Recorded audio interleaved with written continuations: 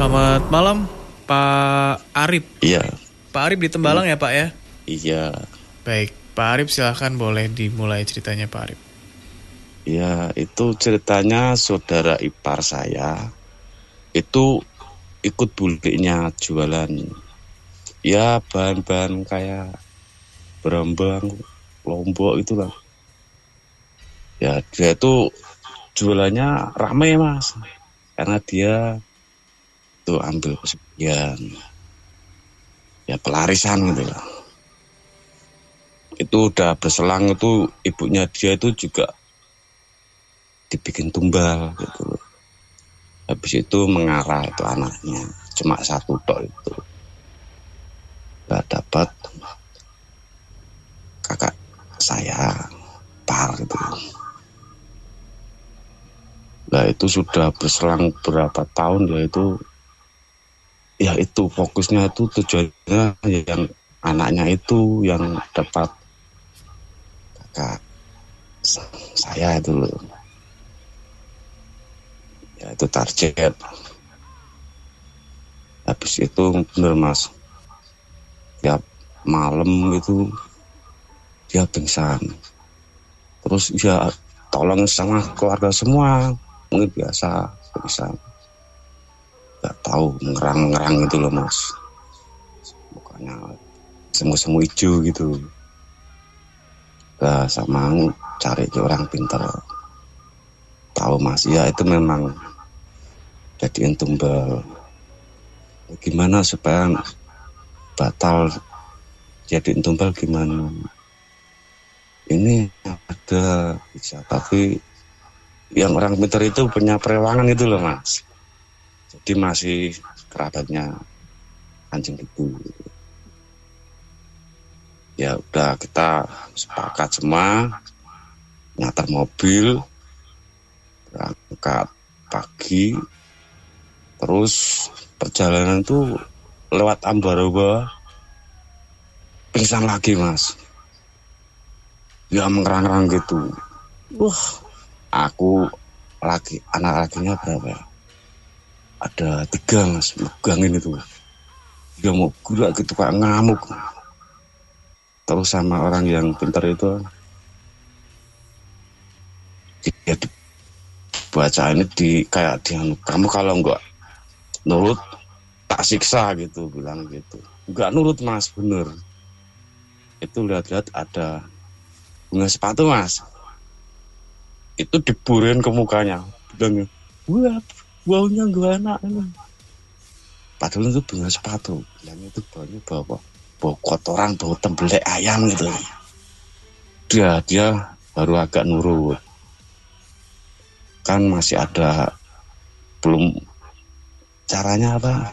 Belum sadar betul tuh mas. Masih terpengaruh. Itu tiap perjalanan gitu terus.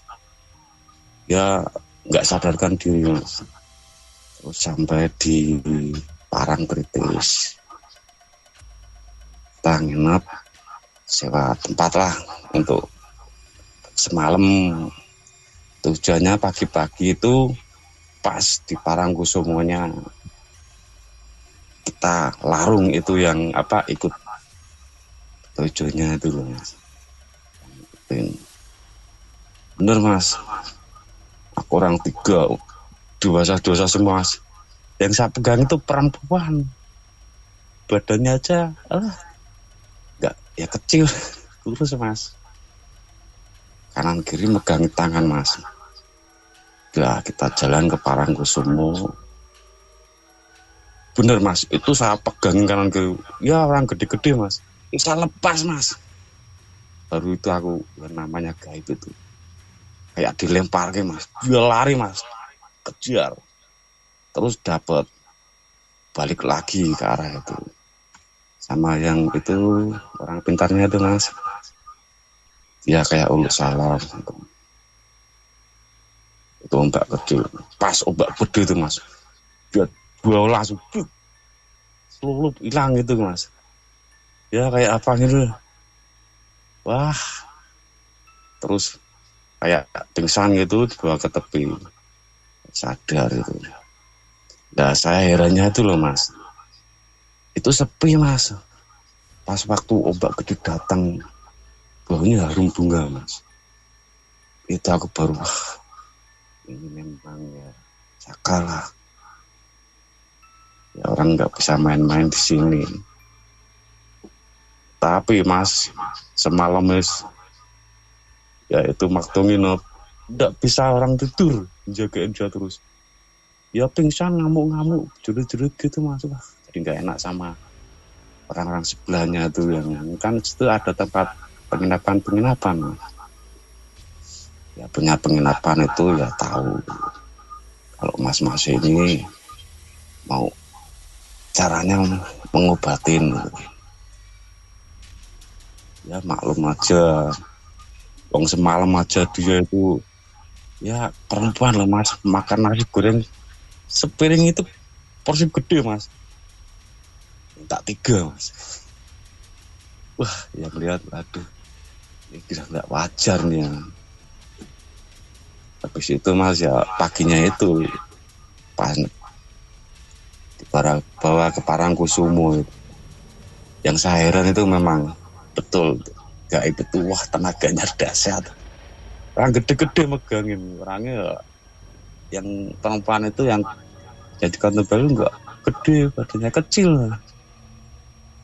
Dilemparin semua desa lari. Mau lari ke yang ada karang-karangnya itu loh mas. Nah itu arahnya ke situ. Nah, itu terus semenjak sudah dibawa ke situ ya alhamdulillah mas. Ada perubahan udah nggak semaput lagi nggak benar-benar nggak mengerang. Ya saya tanya kepada yang orang obatinya itu itu yang Buto cukup dia itu udah cara sama sananya itu di penjara di kerangkeng gitu loh mas. Tidak bisa balik ke Muria gitu. Ya gitu aja mas. Baru saya itu pengalaman saya yang namanya gaib tenaganya itu wah luar biasa. Pak Arif tapi berarti waktu itu eh, apa namanya rumor terkait pesugihan itu sudah mm, ya. muncul ya Pak? Oh udah. Itu dari ibunya aja udah. Dulunya tidak ada sakit apa-apa. Ya dengan pengobatan dibawa ke rumah sakit tidak ada penyakit. Tahu-tahu udah. Tidak ada itu mas itu orang-orang kampung yang di situ tahu. Ya Mas ya Febri. gitu. Silakan Mas Febri semoga saya beri Selamat malam Pak Arif. malam mas. Laki-laki tentang pesugihan ya. Eh, mas. Yang saya akhiran tenaganya gaib itu. Ya. Memang kalau makhluk astral atau makhluk gaib ya Pak ya. Apalagi ada orang yang kesurupan seperti itu ya. Itu pasti Mm, ya apa ya tenaganya itu pasti berlipat-lipat gitu Pak. bener Walaupun orang walaupun orang itu kecil gitu ya. Kalau kita megangin orang dua, orang tiga, pasti kewalahan gitu. iya iya Dan kalau kita ngomongin pesugihan ini ya yang yang dipelihara oleh oknum ini ya Pak ya itu udah agak lumayan lama gitu. Mm, bener Dan dari ibunya sampai anaknya dia ya memang kayak apa ya? Mungkin bisa dibilang turun temurun gitu. iya dia tidak mau Ya. keluar dia hanya saudara-saudaranya itu yang beruntung kasihan ya mas Dan orang se- sebenarnya ya sosok ini pun juga ke- kekuatannya atau ilmunya pun juga tinggi gitu. Ya tapi alhamdulillah bisa dihilangkan ya, bisa dihilangkan dengan lancar lah gitu. Alhamdulillah. Kenapa kok saya bisa bilang sosoknya mempunyai ilmu yang tinggi gitu ya Pak ya. Nah, Karena setiap ya entah itu 40 hari sekali atau setahun sekali gitu ya. Sosok ini pasti akan dikasih sesaji sebagai makannya makanannya dia gitu. Dan bahkan sampai ke tumbal nyawa juga gitu Pak. Itu adalah salah satu apa ya, cara mereka untuk meningkatkan ilmu, meningkatkan kekuatannya gitu.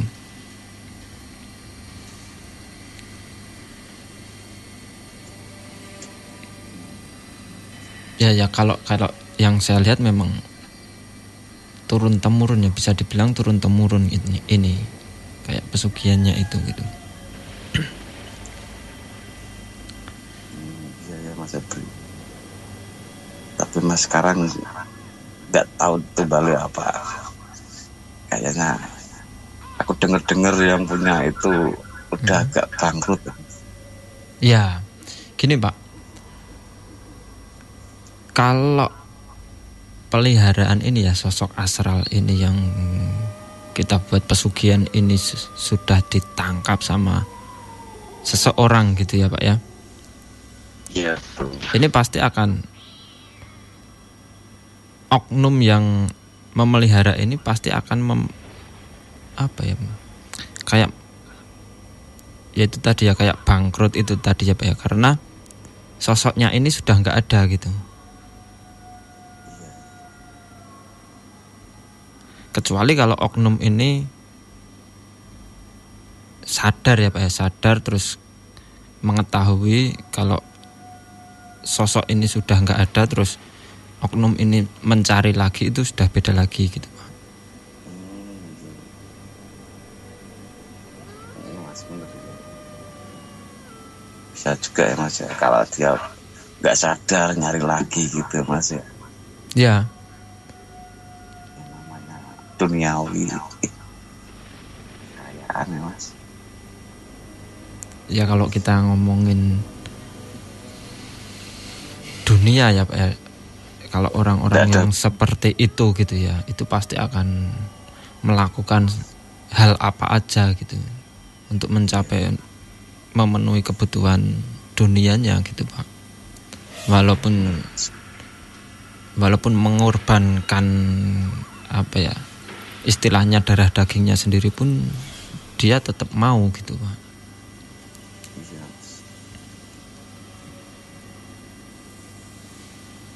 Cukup.